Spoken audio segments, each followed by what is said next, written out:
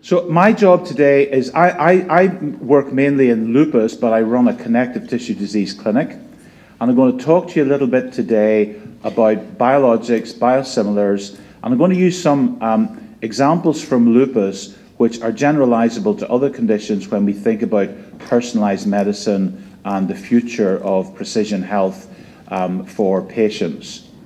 Um, so this is the hospital I work in. This is Manchester University Hospitals Trust, a new PFI build linked to the University of Manchester. And we call our centre the Kellgren Centre for Rheumatology after the first rheumatology professor in the UK, Jonas Kellgren, um, who was in our department in the 1950s.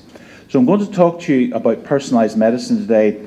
And part of the reason that I'm going to start with an overview of connective tissue disease is just to give you a sense of where these things all fit together.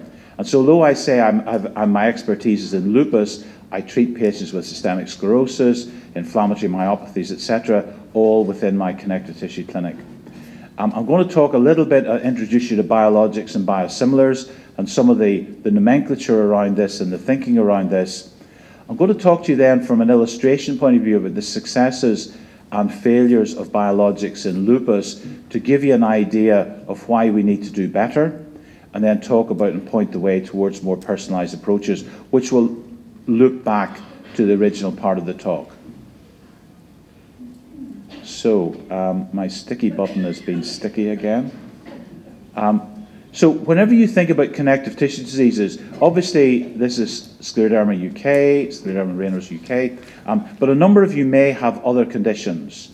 Another of you, uh, some of you may have myositis, lupus, um, Sjogren's syndrome, Maybe some of you have antiphospholipid syndrome, etc. And some of you may have been told you've got an overlap condition. And it's interesting because lots of patients get very frustrated by this kind of um, naming of diseases and they think, well, can they not make up their mind what I've actually got? And uh, my wife says to me that next to psychiatrists, rheumatologists are the most indecisive diagnosticians because um, they seem to change their mind all the time as to what you've got. And I'm going to tell you partly scientifically why that is. So, first of all, connective tissue diseases do not just appear out of the blue. You're born with a genetic susceptibility to developing something. And the problem is, we don't know what you're going to develop. Then the environment kicks in, some of early life influences begin to modify your immune status, and we actually know that some people develop antibodies long before they get any clinical manifestations. And then they sometimes get non-specific features. So if you think about Raynaud's phenomenon, 5% of the population of Raynaud's phenomenon, perhaps a GP might see a, a new scleroderma once in their entire career as a GP. That's the rarity of the condition.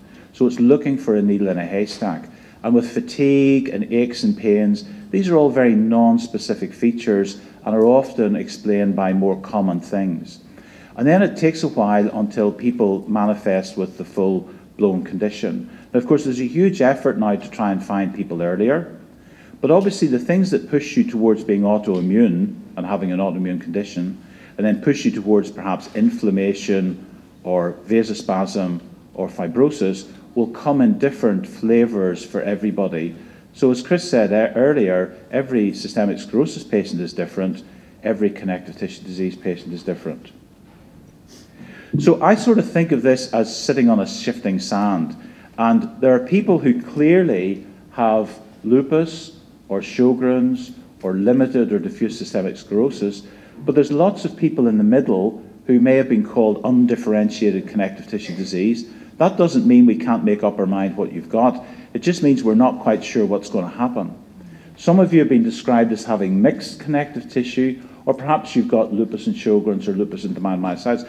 But these conditions hunt in packs, as I tell my medical students. So therefore, if you get one, you might actually develop features of the other, and you shouldn't be shocked to see people with overlapping syndromes. The autoantibodies as well, some people have very, very specific disease, so it may just have a single autoantibody linked to a single phenotype, but we see people with lupus who might have a centromere or might have an RNP or might have a JO1 as well. So therefore then you begin to think, well, what's going to happen to them in the future? Or is it just that they've got an autoantibody and they're never going to develop the clinical correlate of that antibody? So that's why this area of medicine is so interesting because there's a lot of overlap and a lot of moving between conditions. And take the condition that your society has as part of its name, Raynaud's phenomenon.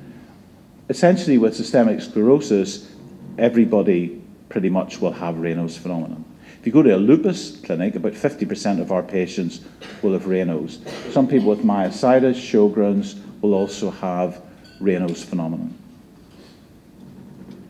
If you look at the other features of these conditions, lupus is a very intensely inflammatory disease, as is myositis.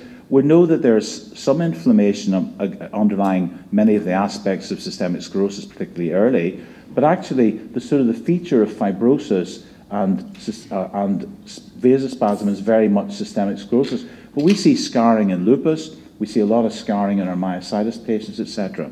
So the processes underlying these conditions vary, and so the clinical manifestations will vary.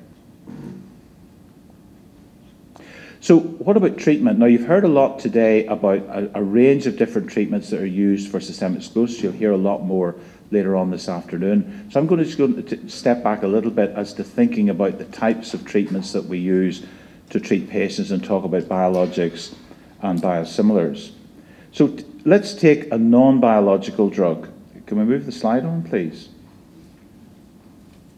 Okay, so here's Adalat. Adalat is nifedipine. If you look down a microscope, this is the biochemical structure that was patent, patented as nifedipine or Adalat. Okay, so once the patent runs out, everybody knows the biochemical structure of this. So all they have to do is to make a generic drug that has got the same active ingredient, and you're probably, some of you are probably on other named products, and if the slide moves forward, we'll be able to tell you what those are, but it might be nifedipress, it might be tensipine, it might be generic nifedipine. But if you look down the microscope, it's exactly the same molecule. The simple biochemical structure is the same. So you might go to your GP and he might prescribe nifedipine generically, and today you get a purple tablet, and next month you get a red tablet, but it's still nifedipine. It's still the active ingredient. It works exactly the same and it's the biochemical structure that's completely identical. So once a drug comes off patent, other companies make it generic using the same molecule. Biologics are made differently. They're made by a biological process. So often they're made by introducing a vector into a, a bacteria or into a living system, and then the, the molecule is developed um, and expressed through that. So, a biological therapy is a substance that is made from a living organism or its products. Biological drugs include things like vaccines, um, the, the, the targeted proteins we use in rheumatology, etc.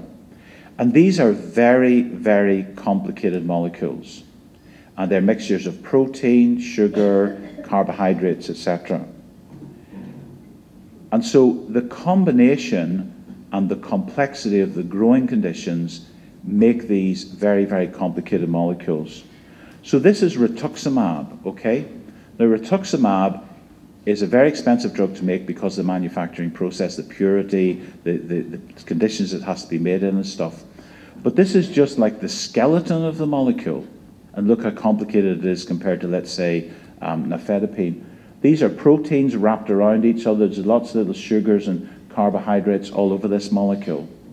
And it turns out that every time you manufacture a batch of rituximab, even the patented molecule originally Mabthera, it isn't absolutely 100% the same as the previous one. So this would be like you growing tomatoes in your greenhouse. You know, today you grow tomatoes, next year you grow tomatoes. They're still tomatoes, but there's just slight variation because this year you had a bad summer or the soil was a bit different or whatever. But they're still the same tomato from the same seed. They look different, they taste fine, and you'll still put them on your salads, okay? So rituximab, essentially, there's a slight drift every time you make it, but the active, the active piece of the molecule still does exactly what it's meant to do, and it works every time.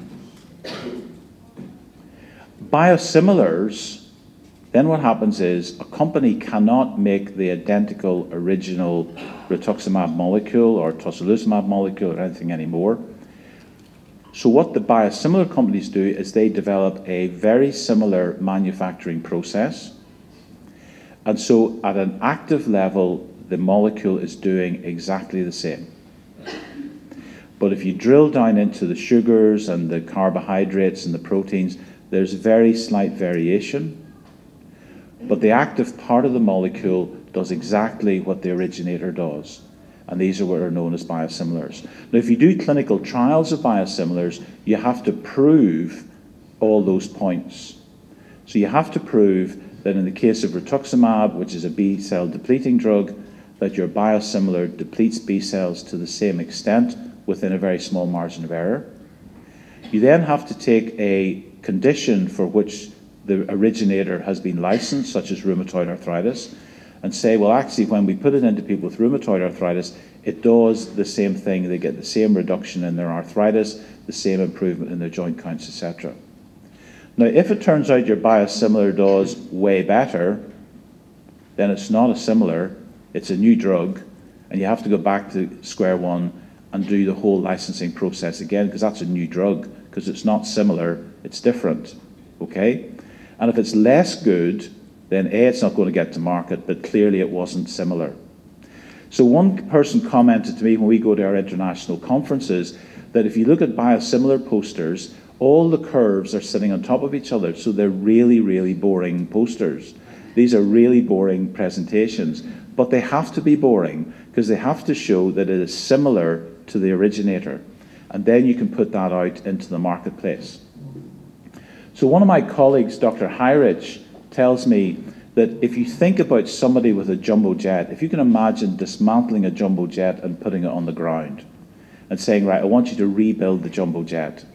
Okay? With good engineering and good practice, you will be able to rebuild it. It will fly, it'll be safe, etc. But there might be a few little bits lying on the ground, and there might be little bits that are not quite the same but the essential bits of the molecule and the safety of the molecule and the efficacy of the molecule will be the same, and your aircraft will fly wherever you go. But there might be just a few little bits that are different, okay? And this is very, very rigorously regulated. So this isn't just a company telling you this. You have to demonstrate the clear evidence that this is happening. Otherwise, you cannot get the biosimilar into the marketplace. But virtually every um, drug company is working on this. And again, if we move forward, if you look at the originator molecules, and some of you might actually know people or may actually have had some of these treatments in the past. So etanercept was marketed as Enbrel, rituximab as Mabthera, infliximab as Remicade, adalimumab as Humira, and tocilizumab as Roactemra.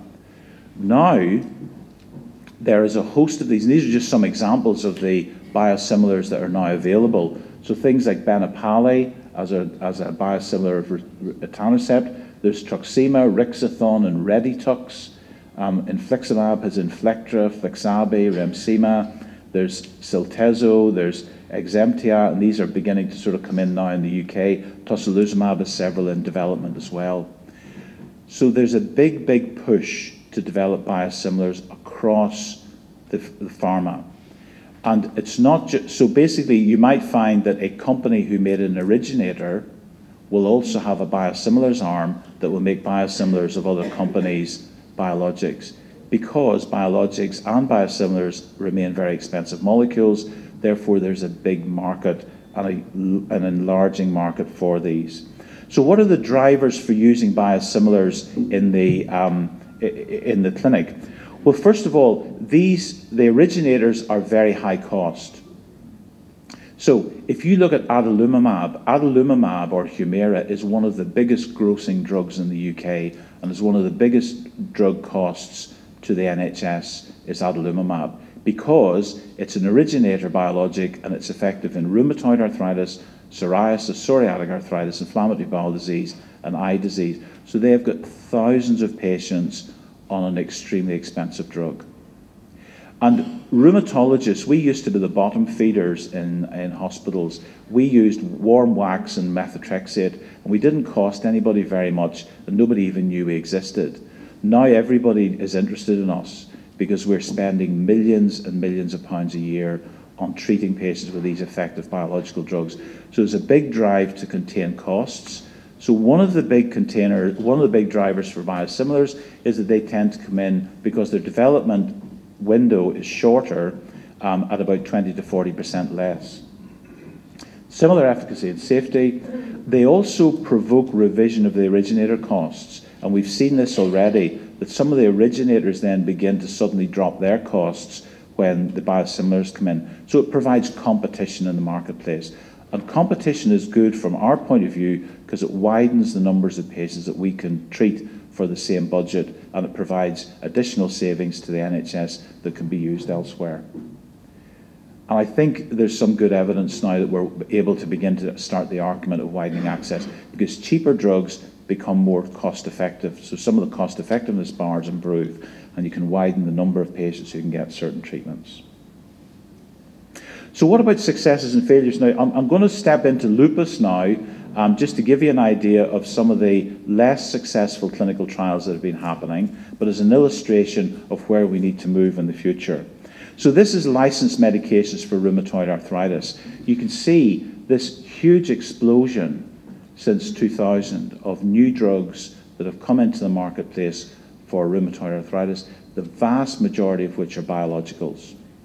Okay? And this list continues to grow year on year.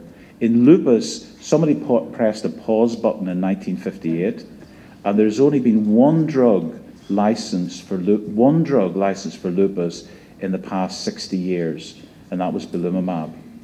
Now that's not for want of trying, because if you look at the list of drugs, so, sorry, let me just go on one. If you look at the list of drugs that have been tested in lupus, this is probably more than 250 million pounds worth of investment from drug companies and drugs that have failed to reach a, an endpoint and therefore proceed any further um, in lupus uh, research.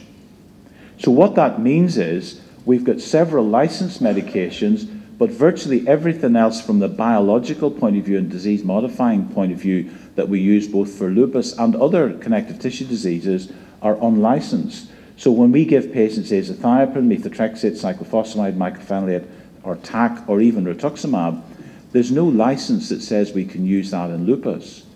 But we can't leave people on high dose steroids all the time, so we're using unlicensed medications. So we're left in that limbo where actually we're at the mercy of the payers and the, the, the, the health service to say what we can and cannot use. And then once you start to use expensive drugs, then they say, hold on a minute, now you're using an expensive unlicensed drug, and they clamp down on us. And we spent our time with NHS England arguing the case for many of these expensive agents.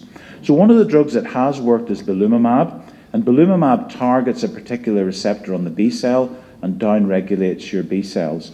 And it works. So they've done several trials that have shown that belimumab is better than standard of care for the treatment of lupus. And they've done several further trials that have confirmed that. So they've done about four major clinical trials now that demonstrate benefit in active lupus over controls. If you look at rituximab, rituximab is a drug that we do use to some extent, but actually the, the original clinical trials of rituximab were, were negative. And this is getting slightly frustrating, sorry. Um, the, you can see here that actually, compared to standard of care, there really was no difference in this trial between rituximab's efficacy and the usual background therapy. So the people who didn't get rituximab did just as well. Or if you say a 30% response rate, they did just as badly. But we know it works because, so this is an objective measure of protein in the kidney from people with lupus nephritis, lupus in the kidney. And you can't make, this is not that the patient said they felt better, it's a measurable improvement in proteinuria in people who had very active kidney disease. And you can see very dramatic reductions in the amount of protein um, from the kidney. And we've also put together a national register um, of lupus patients going on to rituximab, and we found that about 50% respond at six months, very early, but a very demonstrable response. About 5 or 6% further get no further flares. So over just over half have a response, and about 20% had an excellent response, such that they were even getting down their steroids and doing extremely well within six months of getting um, rituximab. So that's led to a lot of politicking, and Chris has alluded to this earlier. What happens when you have an unlicensed or an unproven drug, or what happens when you've got an expensive drug that shows some benefit, is that NICE get involved, NHS England get involved, and their initial impression is we don't want to fund this unless you can prove absolutely very solid cost effectiveness. But we've been successful, and the lupus community and the connective tissue disease community have worked very, very hard through rheumatology and lobbying from the BSR, etc., to get some access to these products for patients. Because ultimately, we know there are subsets and groups of patients that should have access to these drugs. So we've now got an NHS England policy for rituximab, which is, I think, is unique as one of the few NHS England policies for an unlicensed biologic in rheumatology. And we've also got an NHS England and NICE approval for, um, for belimumab. But it comes with, and I'm not going to go through all this with you, but it comes with lots of criteria that the patient has to fulfill. And if you go to the lupus one for belimumab, there's lots of criteria that you have to fulfill. And then there's lots of political things that one has to fulfill as well to get the drug. So these are managed access agreements. Everybody has to be registered. Everybody has to be followed, etc., etc. So this isn't just your doctor saying, "I think you would do well with this drug. I'm going to start you on it." It's a highly regulated process now.